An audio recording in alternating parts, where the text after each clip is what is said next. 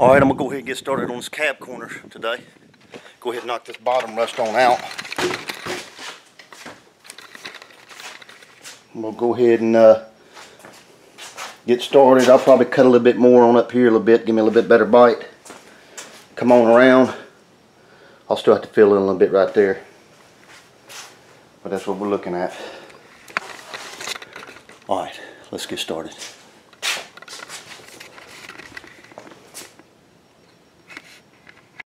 All right, I pretty much went on and put me a line on this new panel here all the way around. I'm gonna go and cut it straight off right there, somewhat around here. It's a little bit big, then we'll adjust from there.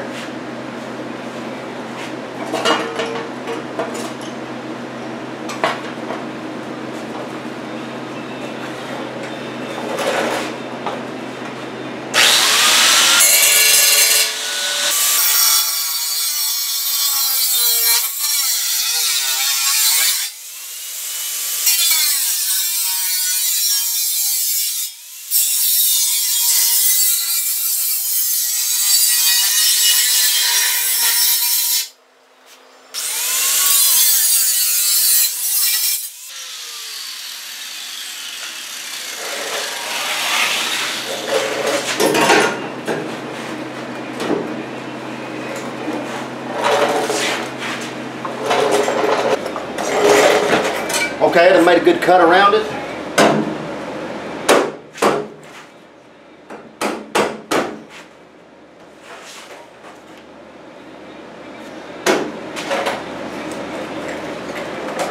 Alright, so what I'm gonna probably do, that don't look bad right there. I had to take a little bit out of this part right here. It was a little bit too much meat there, so take that out bit better fit. Just kind of keeping the bottom flush. And what I'm going to do, scribe it out here on the blue and go ahead and cut that off a little bit at a time. Make sure it fits.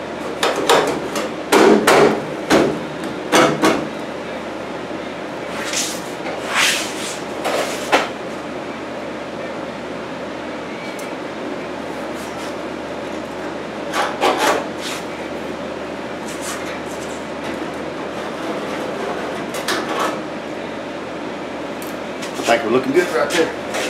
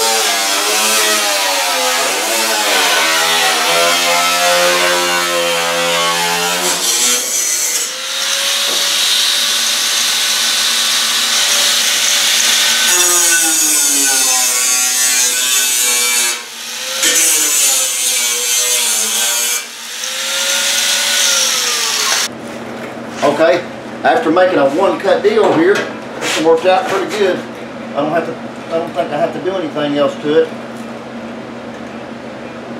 Looking pretty good there, all the way around.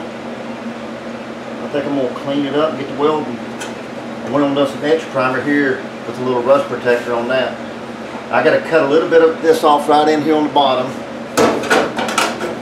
Of course, that was all the new panel that I put in down here on this floor bottom and this and that, so yeah, I'll take a little piece of that off. Clean this one up, weld it up.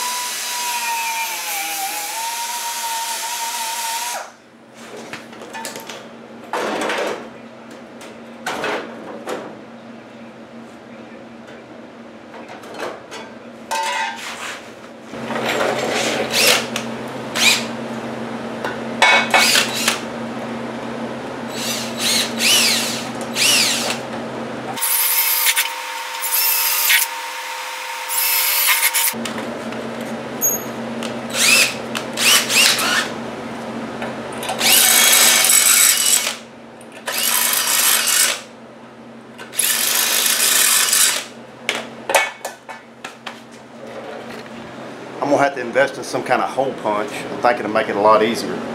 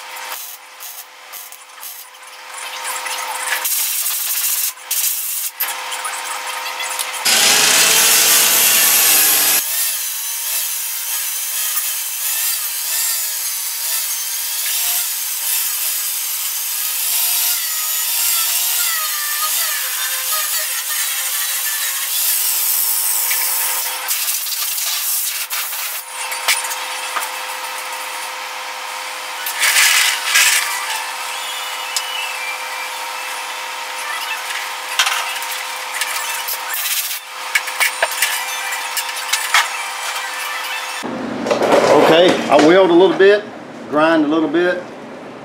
You see where I got to fill on in. On around. Got to grind them plugs down off the bottom there. Everything's looking real good. Feeling real good. So, I made me a patch for this back piece right here. Already had the groove in it right there. I've been in around and done some cutting and carrying on, so that's going to be all right. It ain't perfect, but it'll weld on up in there. Look just fine.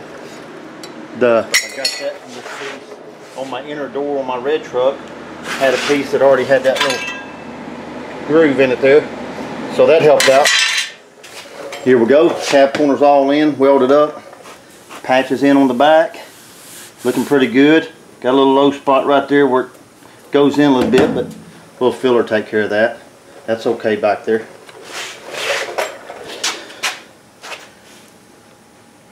So there we go. Mashed in pretty good. I still got some work to do right here on this lower cowl right here. Air cowl vent. This side and the passenger side both I got to fill in. Well cut and patch. I'm going to use the rest of that cab corner to make me a patch for that. And on the other side it ain't that bad, just a little bit on the bottom. I'll take care of all that. Got some problems right here on the top of the windshield. Right there, so that's pretty major. I'm to do some cutting here, right through here. Do some rust encapsulator all back in there. That's after I take the windshield out.